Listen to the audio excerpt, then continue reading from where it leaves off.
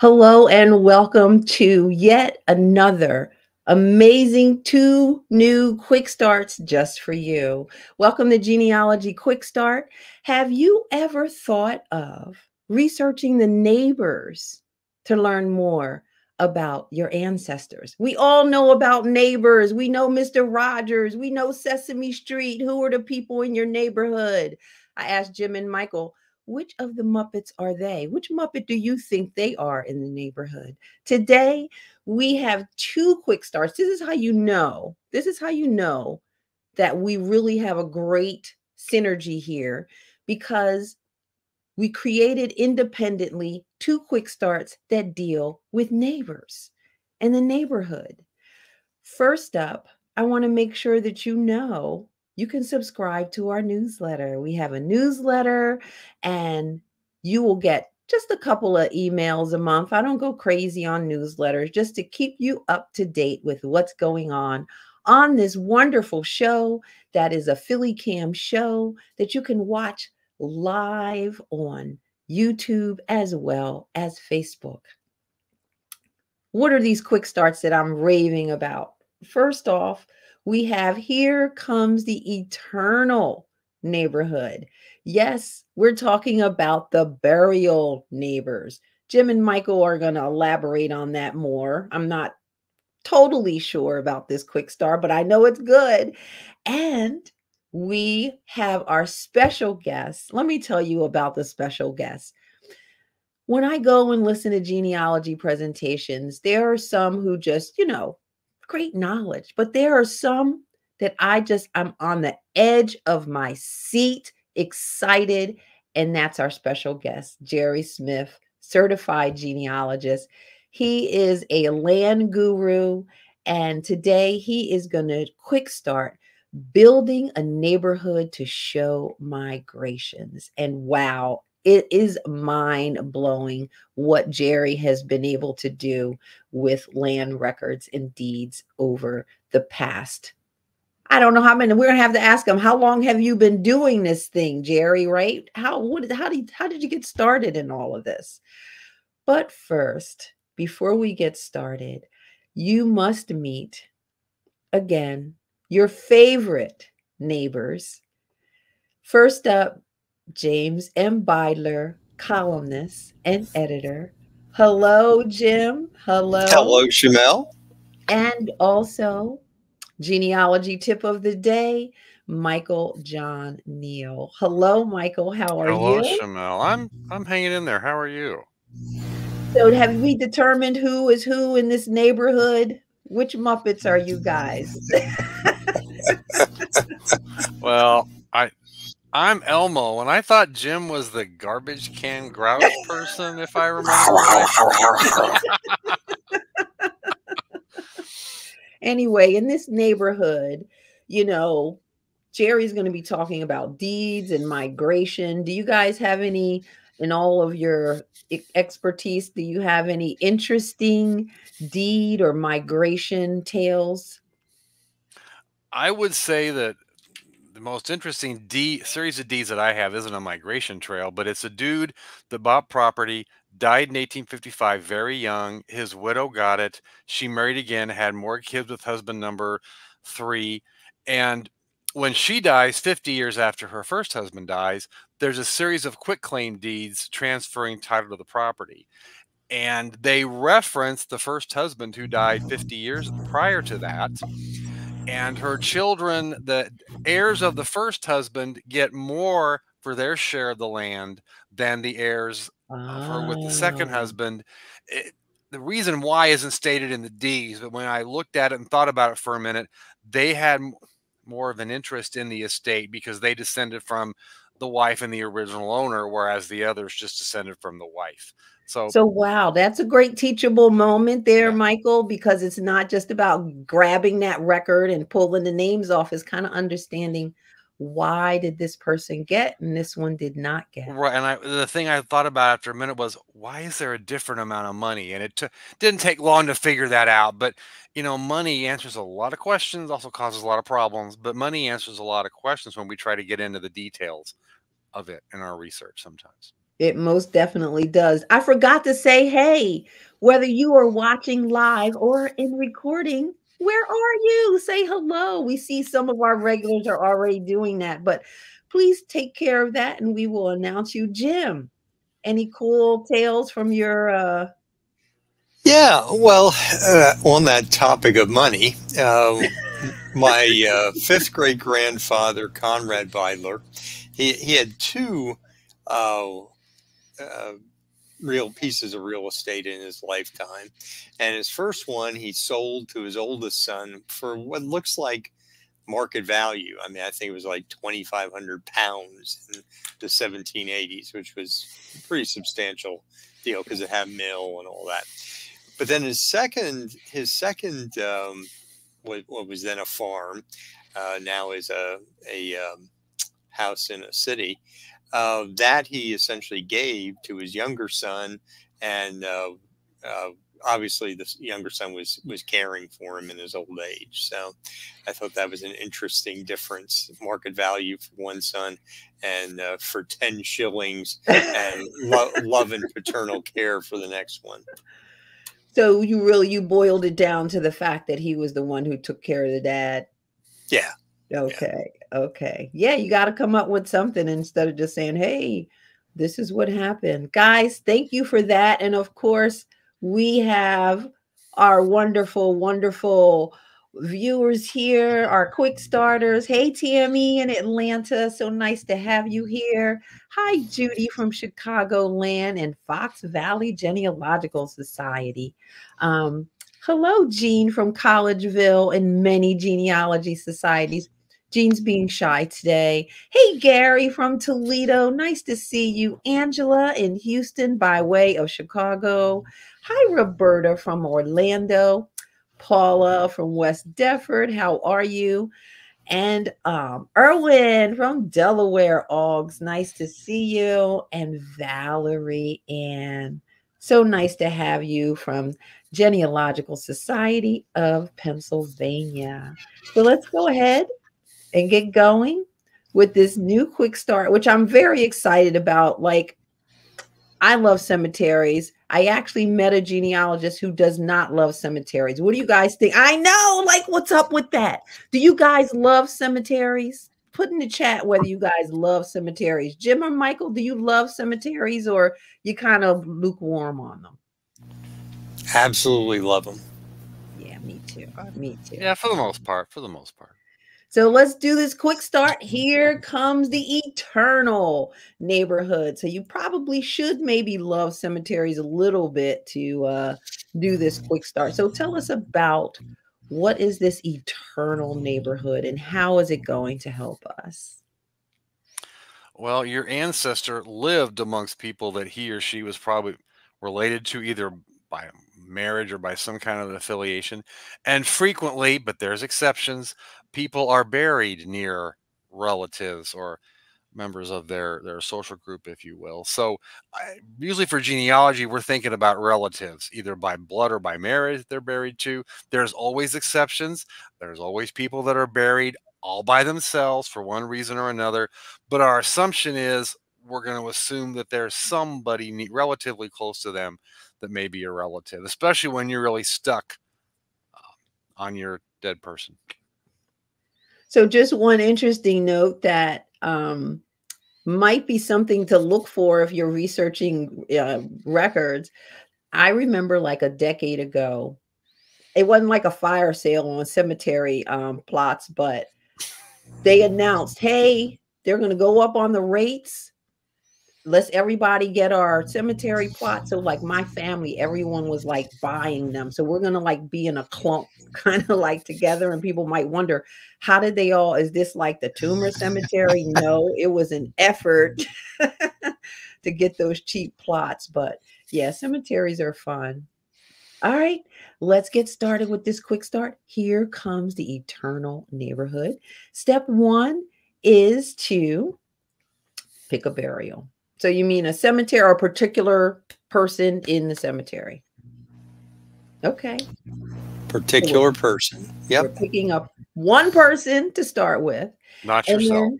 Step two is to determine the type of cemetery. Hmm, what does that mean? What does types of cemetery? Well, a lot of a lot of the uh, early uh, cemeteries in this company were really churchyards. The cemetery grew up around uh, the church. Uh, what happens frequently is then the church moves. Usually, the cemetery does not move with it. Um, usually, the cemetery does not move anywhere, although there's plenty of exceptions to that too. Uh, so, those churchyard ones usually were um, they buried the people in rows. They could reserve a spot next to them in the row for a spouse or another family member, and then they'd keep on keep on uh, burying. Uh, so that's one type of type of setup. Uh, then, for the most part, in the mid 1800s, you started getting cemeteries that were more organized, where you'd buy a lot, a lot of four graves or eight graves or uh, you know, what have you.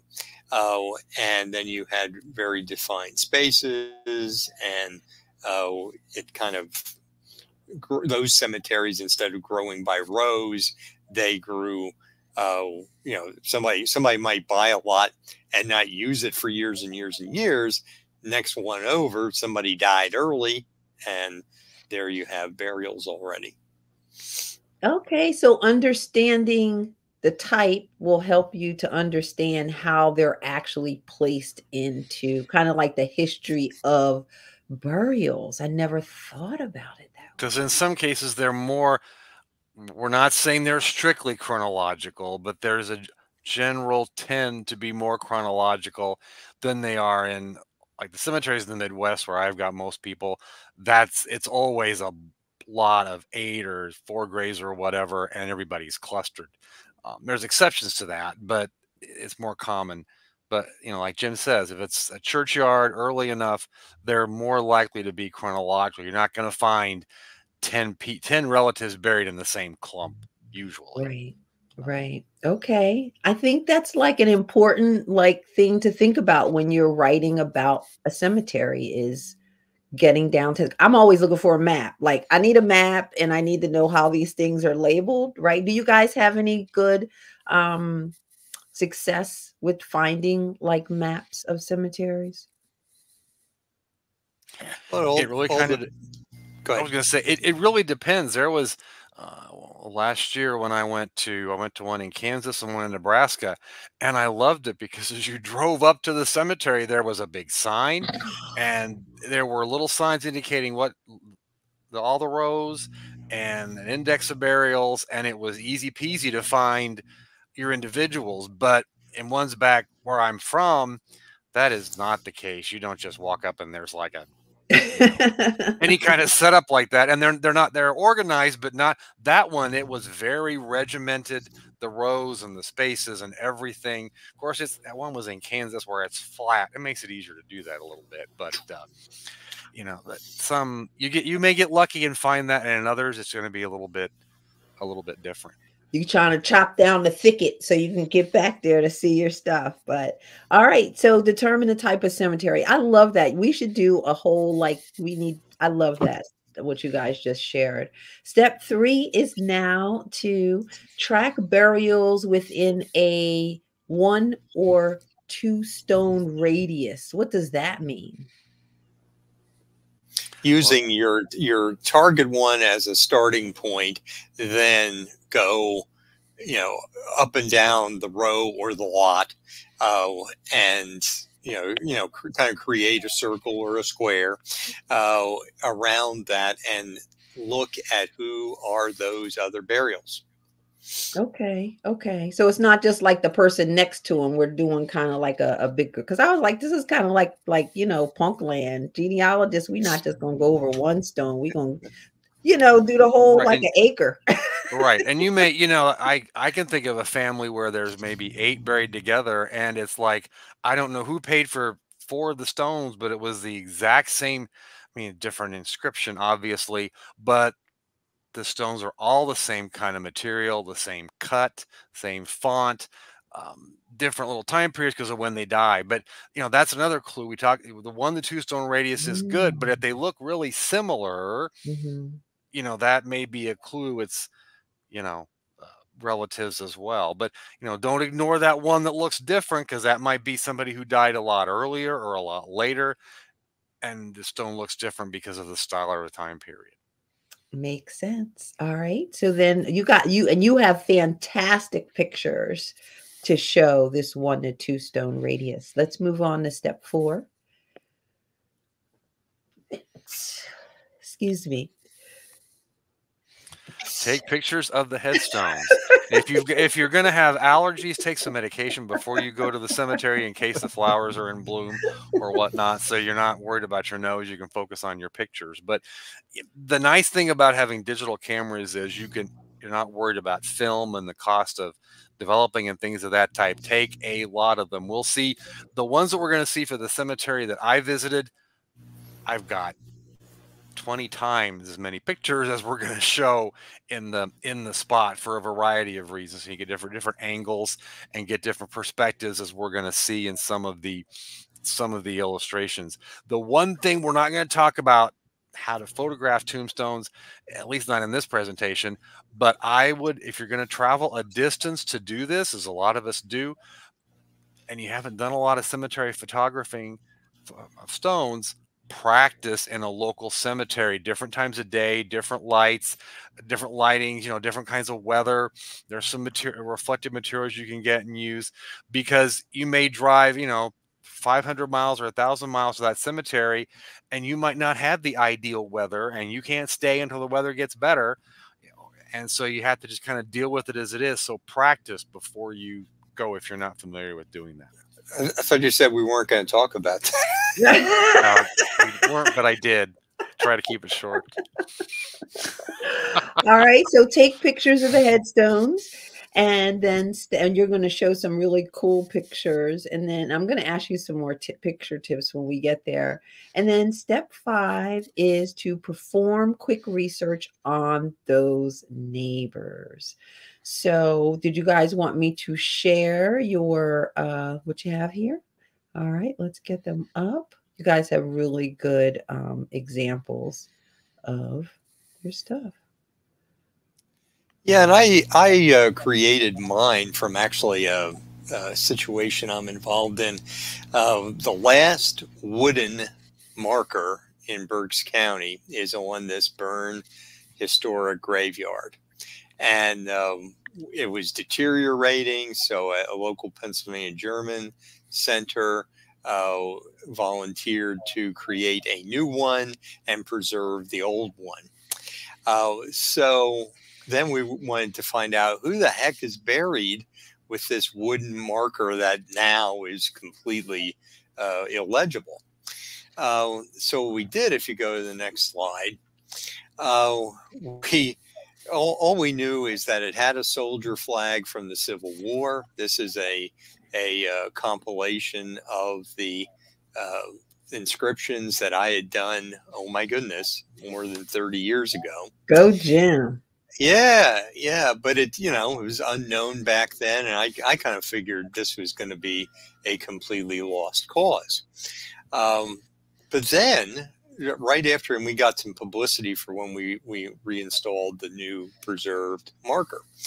So you go to the next slide. Uh, somebody somebody just about immediately uh, emails us and said, "Well, it's on Find a Grave that this is this Civil War soldier William Stam's uh, marker." Oh, and, wow. and, and, of course, I'm thinking I thought I thought the people I was collaborating with would have checked for Find a Grave.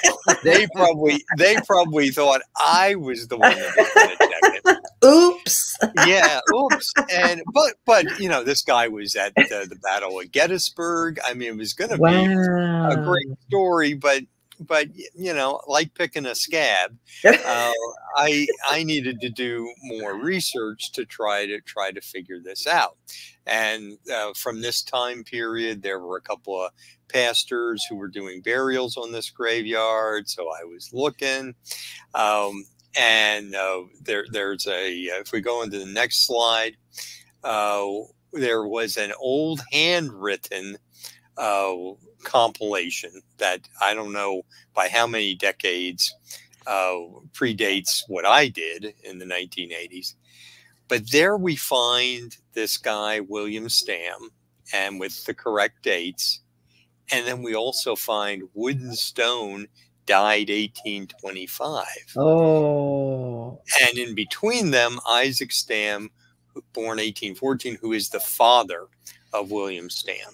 Okay. So, so now I am really scratching my head on this. It, it appears to me that that the wooden marker can't be for William Yeah. Stam because at one time there there was a marker for him noted as separate.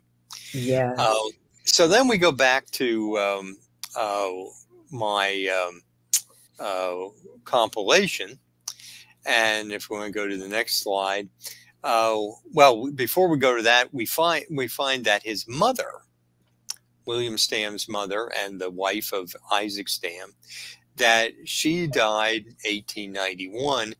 No stone for her anywhere. Uh, but she's Ah. definitely mentioned not just on Find a Grave, but she's mentioned in that one Pastor's Barrow records. okay. So, so what I'm what I am uh, uh, speculating, if we go to the I believe the final slide, uh, is if you go by this burying in rows thing, you have Isaac Stam, the father. I think you have a close up. I do. I, I I was. sense I sense people straining their eyes. uh, he died in 1883.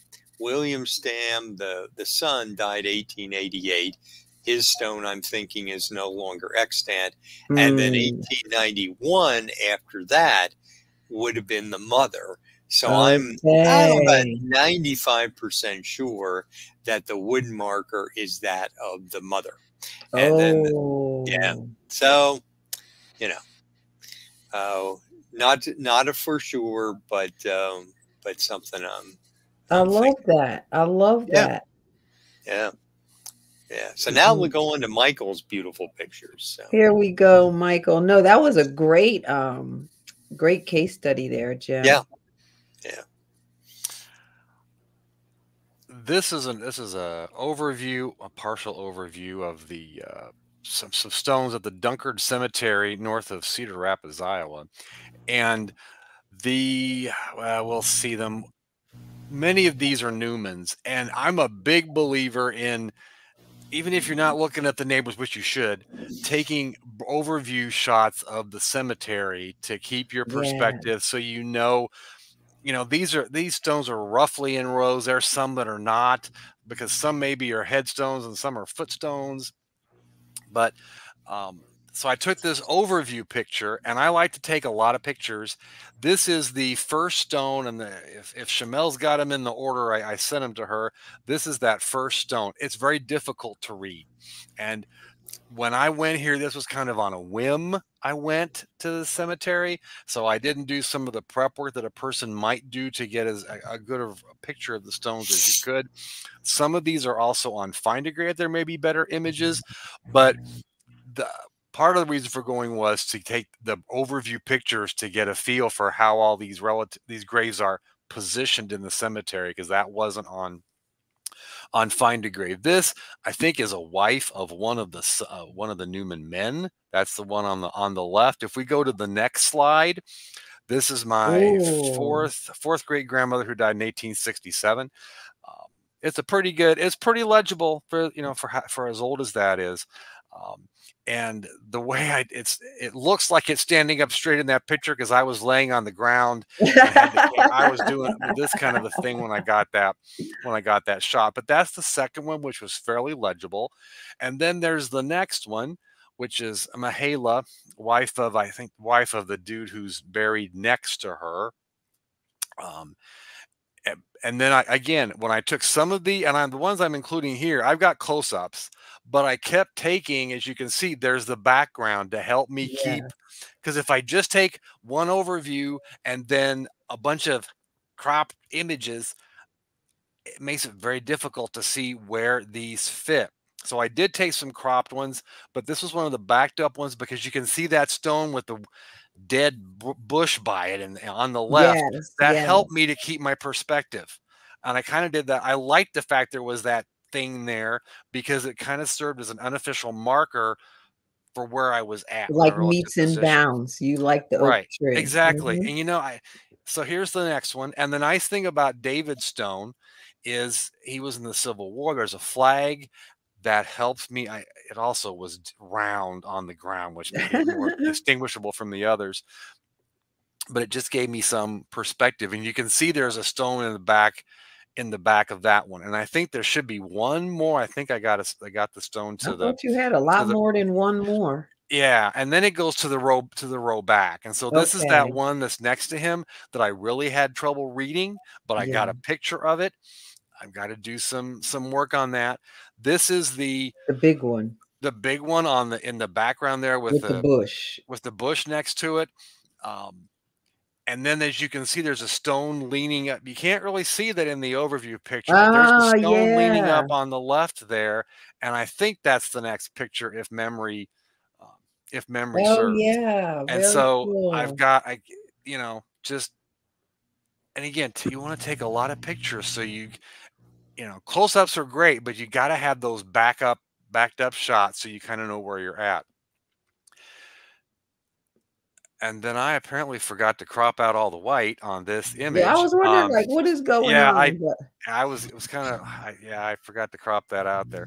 Um, that this is another larger, larger, more modern stone, and there's two small ones that are I next to it. You those. can't you can't see it in this image because it's it's backed up so much. But the one that's kind of poking out of the ground, yeah, somebody had put a plastic flower on it, which I kind of liked because it it helped me to distinguish it. So that might yes. be another little trick when you're going and then here's a, a close up of that. It must have broken off. The top must have broken off. Oh it's, yeah. It's put down beneath it there. But this is a wife of I think the guy that was the stone we just saw. But you know, mm-hmm. if you've got no marker, like we've got the bush and we've got this the flower and the flag, you might even want to take something you can use yourself, like to like take a few of those flags that used to mark your water lines or your power lines in your yard Oh, take it, you know, there. and use and don't leave them there. I'm not saying leave them there or put some flowers or something, but that can serve as a kind of to mark your spot. So you, you, you see that little flag in several pictures, you know where you're at because they can kind of look the same if you're not if you're not careful. And then this is that stone again with the one next to it because that one in the ground is really hard to see. So I wanted to know where that stone was at in and relationship. Yeah, in relationship to the others. And this is my uh, Michael, a daughter of uh, one of the other one of the other Newmans. But you want to get those pictures. Get your background shots, and then of course these are all people. Now in this case, was obvious they were probably related because they all have the same last name of Newman. Okay. I okay. mean, that's just that, you know, you got to use your genealogy common sense there.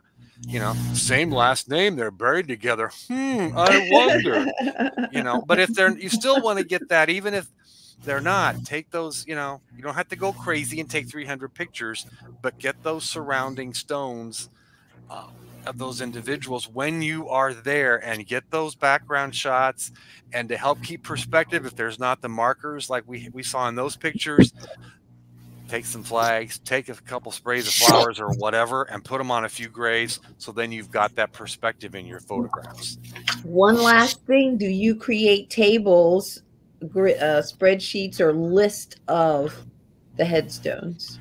I, I would put them in a table or a spreadsheet also what I would do is I would draw out a map. The stones that I was working on, the people that we talked about researching a little bit to see if they are relatives, I would create a map of the relative positions of those stones.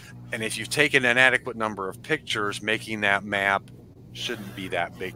And it doesn't have to be precisely perfect. You're not doing right. surveying work. You're just wanting to get the relative positions of these of these stones. All right, let's get through these steps, guys. That was fantastic.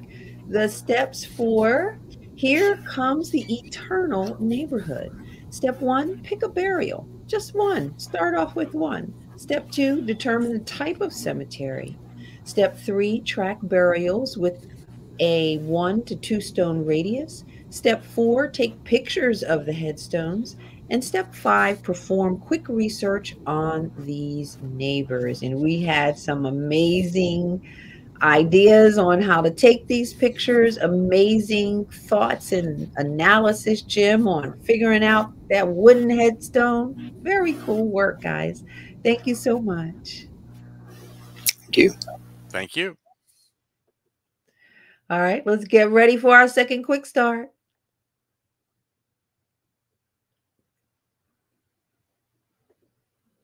All right, he is here. We have wanted Jerry on for a while, and I'm just so excited to have him come here to talk about land and just the amazing work that he does analyzing and just mapping out these this land stuff. And Jerry is all over the institute. You're going to fall in love with him. So I'm just telling you, go hang out with him at the institute. Let me just bring him on right now before I keep gushing. Welcome, Jerry Smith, CG. How are you, Jerry? I'm good. Thanks for having me. And I'm going to have to work to live up to the gushing reputation you just no, Jerry. You know you're my guy. You know you're my guy. I came. I would always come to PA to uh, listen to um, all the different techniques and strategies that you share. So, Jerry, before we get started, we want to ask you what we ask all of our special guests. We want to hear your genealogy origin story. How you your 1 minute genealogy origin story. How you got started and when you knew you were hooked. Um I grew up listening to my parents talk about their research and it often bored me silly. My father died relatively young and at one point my mother says get this file cabinet out of my house. It's your genealogy not mine. And i guess process of osmosis i knew where one of his big brick walls was. It was in our male surname smith surname line. Um, decided to work on a little bit and broke through it and that's when i was hooked oh so you broke through i love it yeah it's a good vibe good work sticks you to it. So fantastic on your mom for getting you yeah. it on you. was she excited about your breakthrough? Uh, she was pleased. Okay. I think excited. It wasn't her line. Very cool. So Jerry, thanks again for being here and let's jump right into your quick start. Um, which is it's coming maybe did I click it? All right. Oh my goodness. There it is. Building a neighborhood to show migration. Jerry, are you a Muppet fan? Used to be. So which Muppet are you? Because you're talking about neighborhoods. So which Muppet are you, Jerry? Never mind the neighborhoods. Can I be the Swedish chef? okay, you could be the Swedish chef. I forgot about the Swedish chef. All right, Jerry. So let's get started with this quick start. And it is, let's look at step one, which is to obtain the deed. So, Jerry, just for everyone's, you know, level setting, where do you actually get the deeds? And how do you go about that? In most jurisdictions, your deeds are kept at the county courthouses. Now, in New England, they do things on a town basis, but again, it's a local entity um, is going to keep your land records. Now, you'll run the deeds back in the county courthouse and you'll reach a point where somebody has the land, but you can't figure out where they got it from. That's because if you're in, say, generally the, the original 13 colonies, they probably got it from a proprietor, like the Penns in Pennsylvania, Yes. or if you're further west, they might have gotten it from the US Land Office. So there's that initial grant from a governing authority to the first private owner. Those will not be your county level records. Those will either be federal records or state records. But in general, we're starting at the county. And where can you get, can you access these deeds online? For many counties, you can. Some of them you can get through Family Search. They've um, filmed the deed books. They're Woo, Family Search. Let's give Family Search some love on those deeds. It is so some, amazing. some counties have made them available free of charge, particularly the historical ones. And very often, other counties, there's a subscription deed lookup service you can subscribe to. And a lot of those, you can go in and do your searches, and then you pay 50 cents, a dollar a page for, for what you want. Okay, so we're going to obtain the deed most often at the county until we work our way back until the original stuff is happening. And then step two is to place the deed on a modern map. Now, Jerry, how do you do that? Well, usually to do that, you can't take an individual deed and place it on the map. You very often have to construct a neighborhood.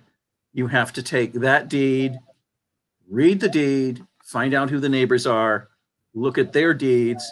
And then there's a process called land platting where you take the boundary description from the land document and you draw it. And you put all the drawings together. And I like to say you just keep spiraling out until one of those deeds mentions something and you know where that is on a modern map. So that something could be like, you know, geog- like a river or A river, creek. a spring, a road, local landmark. Okay, so we're getting we're getting a deed and we are pulling out the land descriptions. And are there is there software that you can use to There's that? there's two packages that are popular with with genealogists. Um, one is called Deed Mapper, and Google Direct Line software. You'll find the website. The other one is called Metes and Bounds, and there's a free version of that one you can download. Um, they're both good. Take your pick. All right, all So right. with, with pencil and paper, and I would refer people to the first quarter of this year NGS magazine if they want to learn how to do that. Okay, check out NGS magazine. So we are placing the deed on a modern map. And so step three would then be to locate the neighbor. So you kind of talked about that, where you get your deed. And how do you know who the neighbors are? More modern deeds, recent deeds, will probably tell you that a particular property line runs along Mr. Fox's property or Mr. Nash's property. Um, if you go back far enough, there's a lot of interest in who the first private owners were. And some local historical societies and sometimes even state archives have those maps already done for you, and you can find out who the neighbors were. Okay, so you can locate the neighbors either directly from the deed, and there's other ways. In maps, I I've, I looked out and found some maps for the time period that I was researching that had landowners on the map. Have you? Um, there's this software out there called History Geo. It's a subscription. History Geo, yep, they give you maps of landowners, help you locate the neighbors. Um, it was popular in the late 1800s for publishers to publish landowner maps. Yes. You won't find boundaries on those, but you'll find, you know, the little squares for the buildings and and names of the various people who lived there. So I have a weird question, Jerry. So you know, back when you're looking at these old late 1800 um, maps, and they have like you know the person had like a large, you know, maybe 10 acres or whatever, and then they have the little black dot.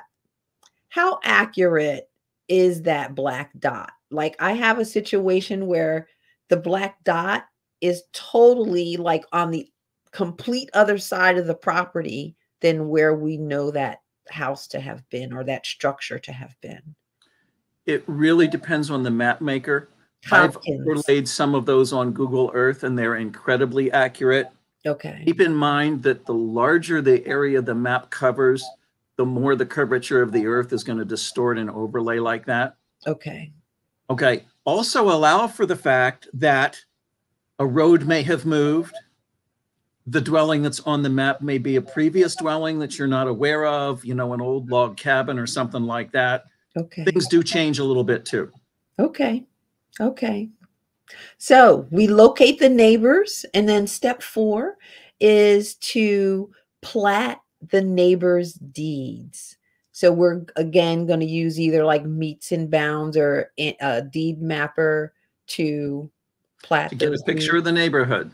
Okay. Okay. And we we have some great images to share after we do our last step, after you plat the deeds, excuse me, plat the deeds. And then you're going to go ahead and research those neighbors. And Jerry found out some really cool stuff. So let's take a look at your slide. Well, and, and keep in mind that the reason you do this yes. is the further back you go, people didn't migrate individually. They migrated in groups and they migrated with family members and people they were closely associated with. So that's, that's the cluster research. This. So this is a strategy of cluster research using yes. the deeds. Okay. So let's take a look at your slides. So what's our, this is talking about the background of our case. Tell us about it, Jerry. Okay. So this is going back on my Smith line. Um, and we're back to an individual named Frederick Smith or Schmidt. And why do I use both names? Well, we'll see. The answer is in a land record. And he died 1785 in Franklin County, Pennsylvania, which is, call it South Central Pennsylvania. And the question here is where had his family come from? And we knew from our land record research that um, he didn't buy land from another local landowner. He got it from the Penn proprietors. He applied for it in 1765 and he lived there until his death 20 years later. So that's our background. Okay. Um, I put this in here just to show how rich uh, land documents can be. When he applied for his land and was given the land, he didn't have the money to pay for it, so he took out a mortgage from the Penns. This is a little bit different land document, but it illustrates something important. Um, the two insets that are blown up on the right, the upper one is from the upper portion of the document where it's saying it's an agreement between the Penns, and you'll see there the Penns between Frederick Smith, S M I T H. Mm-hmm. The lower inset is his signature at the bottom, where he has signed his name in German script as mm. Schmidt. So this is my bridge document at the point where the family anglicized the name. You go back further than this, you're dealing with Schmidts. More recent, you're dealing with Smiths. Very so documents can be unexpectedly rich in ways like this. Yes, if you go beyond just what you're looking for and take it all in. Talk to us about this, Jerry. Um, this is in Pennsylvania, you would call it a patent. It's really the very first deed. It is the Penns giving full title to this piece of land to Frederick Smith or Friedrich Schmidt. Um, and the patent is there. Where you see the underline, I don't expect that you'll be able to read it, but that's the that's the beginning of the boundary description. You might be able to make out the word at the very left of that line, beginning. Beginning and it'll say beginning at a hickory grub, and then it goes in a certain direction, a certain distance along a certain neighbor's property. Mm-hmm. Circles there are the names of the neighbors. Oh, so here we're pulling them out. Gotcha. Okay, so we can pull them right out of the boundary description. Over to the right is a drawing or a plat of his land that was made from that boundary description. So to build my neighborhood, I just picked one of those neighbors and I pulled their land document and then I drew their land and figured out how it attached to Frederick's, et cetera, et cetera. So go on to the next slide. And you'll see the light purple lines there. That was the neighborhood that I mapped out. Over towards the right-hand side of that slide, you might be able to make out the letters Falling Spring. Um, that's a water feature.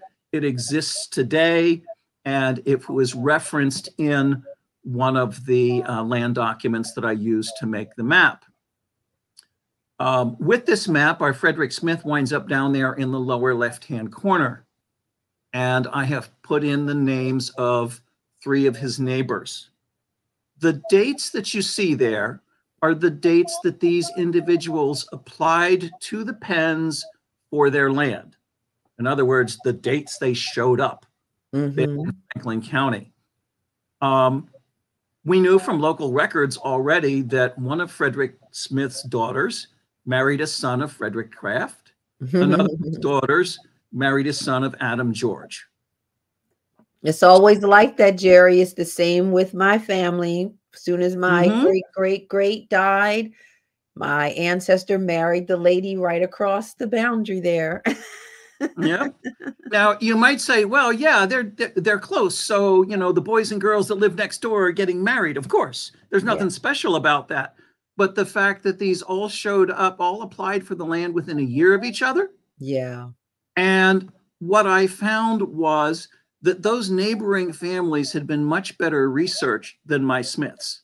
Oh. Nobody knew where the Smiths came from, but family files and other research that I then went and verified on my own, it turned out that it was asserted, and it turned out to be true, that all three of those neighbors came from Bucks County, Pennsylvania, and it had their oldest children baptized at Keller's Church in Bucks County. So Jerry, back up. How did you go from this land deed to this church in Bucks County? Through the research of the neighbors. Okay, so you looked at the neighbors' paperwork.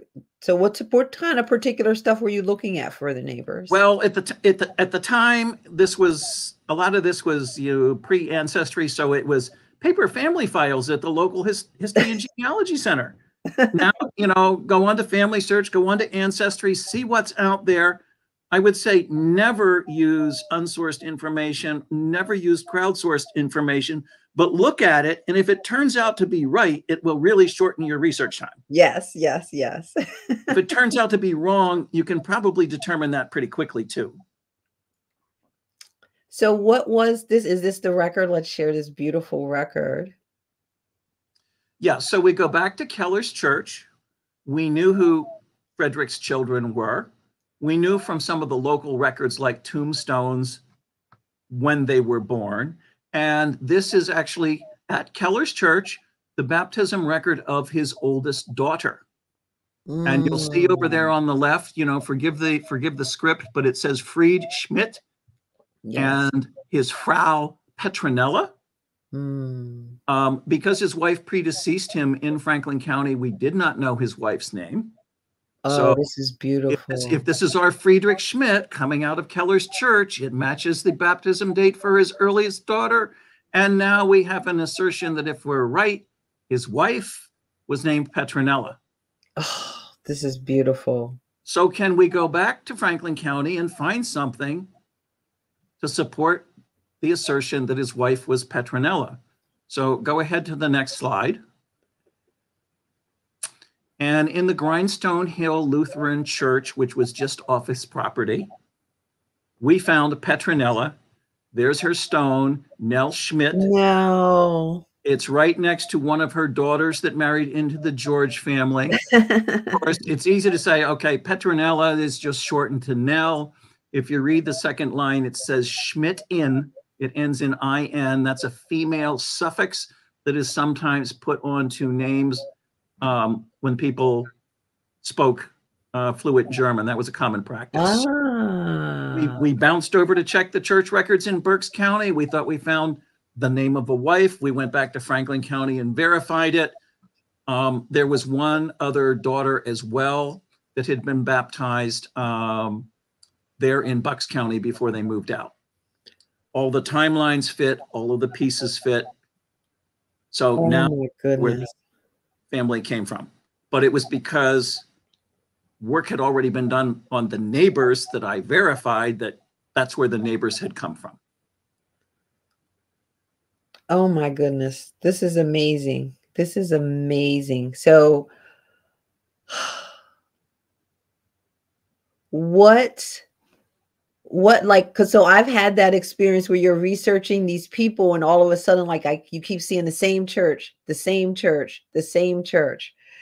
How have you what have how have you shared? Have you connected with any do you work in community with of these other descendants from these other people or are you kind of doing this in a silo I have made contact from time to time. Yes.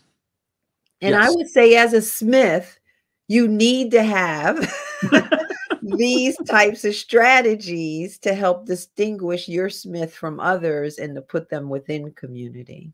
Would you agree? There's nothing there's nothing wrong with collaborating, but when you collaborate, you want to make sure that you're getting high quality evidence. High quality evidence. I love that stone. And I did not know about the IN at the end. Is that like um Asian when they say Suki-san, like her name is Suki, and they add like that endearment. Well, that's that's sort of an honorific. This is more of a, a female suffix on the surname. You'll sometimes see. Would that be on the name in uh not just a headstone? Would that be within the documents as well? In certain German language documents, yes. Very interesting. Very interesting. Jerry, I love uh, how you do these deeds. So you actually are working on, is this the same county where you're doing your larger deed project? No. Um, I have an ongoing project in Bedford County, which is two counties over, um, where I am mapping out and creating a database of all of those first private owners, the people who acquired the land, well, early enough from the Penns and after the revolution from the Commonwealth Land Office um, because there are no maps like that for Bedford County. So there if you're Bedford Pennsylvania County, where people have created indexes and databases, but we don't have that there. Um, Frederick's son, Anthony, who I descend from, mm-hmm. left Franklin County and wound up in Bedford. And that's where my original brick wall was, was where did Anthony come from?